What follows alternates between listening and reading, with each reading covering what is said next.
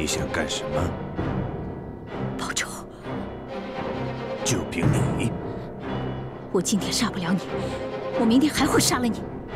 你已经被我占有了何必多此一举？你以为你占有了我的身子你就占有了我全部了吗？你错了只要我活着一天我就会杀了你。没有用的你没有选择你必须臣服于我。呸！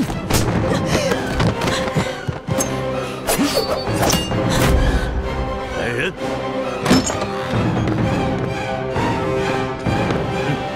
把他给我拖出去！来人，有，带走。哎，放开我！我早晚会杀了你的！我早晚会杀了你！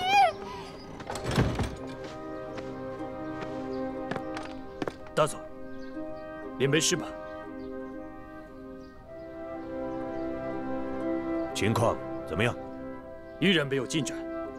今天是我们扫荡的第三个村子了。既然这样，就接着杀下去。那些中国军人不是号称保家卫民吗？那我就让他们看看，他们的民众是怎么死在我们的枪口之下。嘿！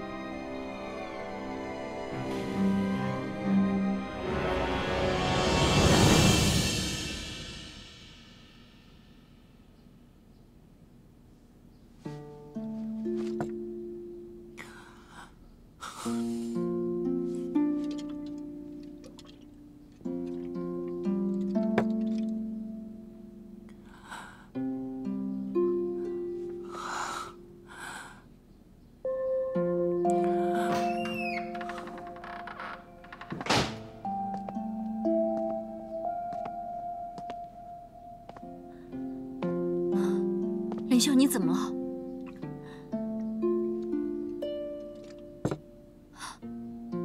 你又喝酒了？你不是答应过我，你也答应过大家，要重新振作起来吗？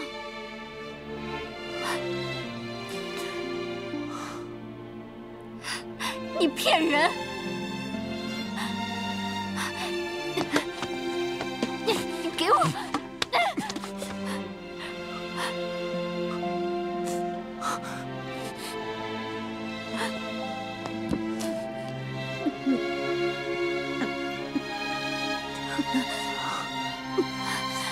你不是要喝吗？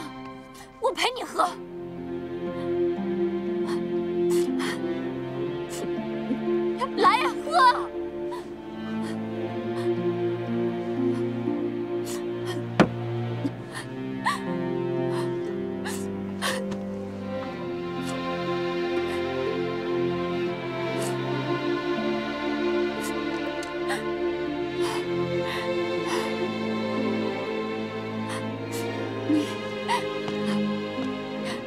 你现在这样，不光是在欺骗我，你也在欺骗你自己，你也在欺骗楚玉。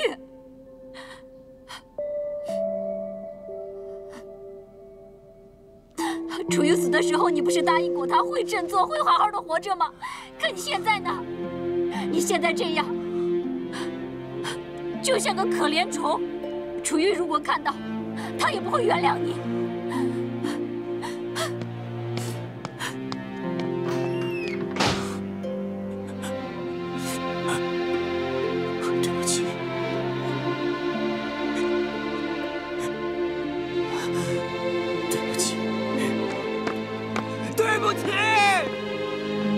你以为我不想振作起来吗？你知不知道难受啊？你不是楚玉，你永远不明白我的心理。我宁愿伤害我自己，我没有骗你们任何一个人。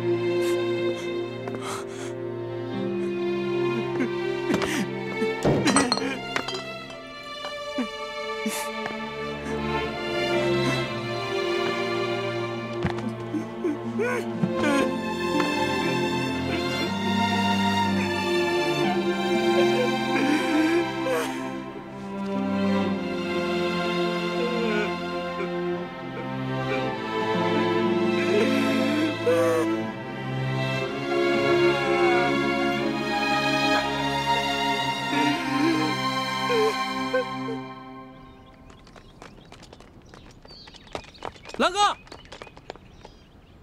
大民，你怎么回来了？狼哥，鬼子又屠杀了红杨村，村民全部被杀了。这群畜生！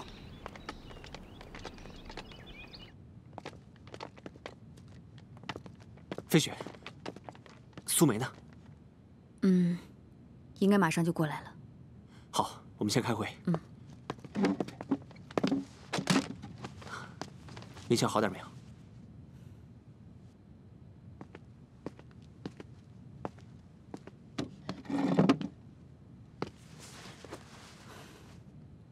是说要开会吗？现在开始吧。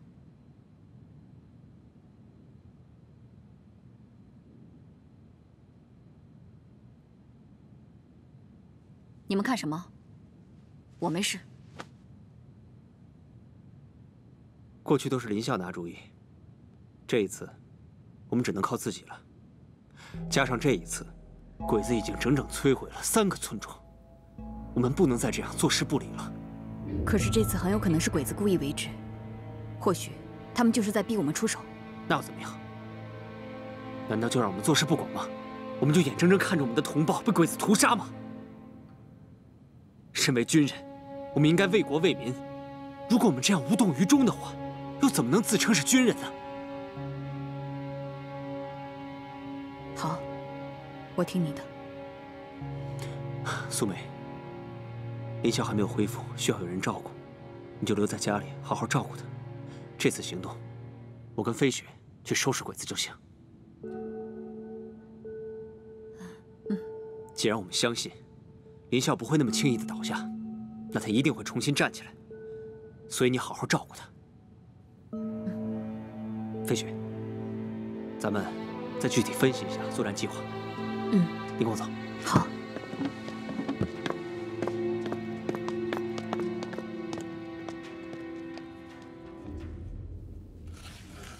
陈留村、杜家屯这两个村子已经被日本人连续扫荡了。飞雪，怎么了？你在想什么呢？我在想，第一次看到你是什么样。什么样子？那时的你，年少得志，趾高气昂，看起来目空一切，所有人都不在你的眼里。是不是很让人讨厌？那现在呢？现在，嗯，现在好多了。真的好多了。你现在已经是个顶天立地的男子汉了。其实，你已经不需要我的保护了。你错了，我需要。飞雪，如果没有你的陪伴，我都不知道我能不能走到今天。还有，你不是答应我要一直保护我吗？其实每个人都是一个人来到这个世上，就算陪伴，也只是一段路程。